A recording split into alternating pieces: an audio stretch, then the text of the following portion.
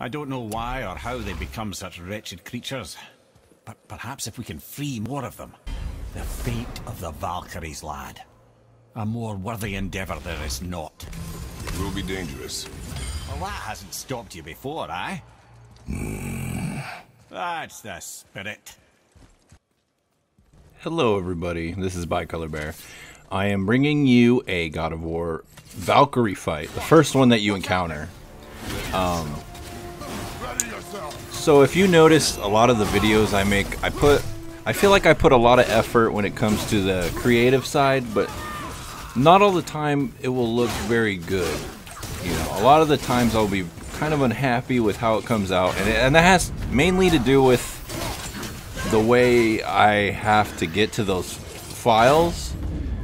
So before I would have to upload a video to YouTube from the PlayStation, download it off of YouTube, edit that video, um, render that video, and then upload it back up to YouTube on my main channel.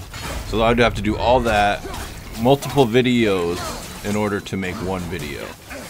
And I didn't know there was a PlayStation update recently that allows you to upload that the raw file onto a USB and then you can just do it that way instead of you know using YouTube's really crappy um, uploader where they make the video quality look worse every time you upload a video so basically I was just like handicapping the quality of my videos each time I was doing one and it's such a sigh of relief that I'll, you know, it's still 720p, but it's not blurry, you know, as blurry. You can just see all the details, and it's, you know, a little bit smoother.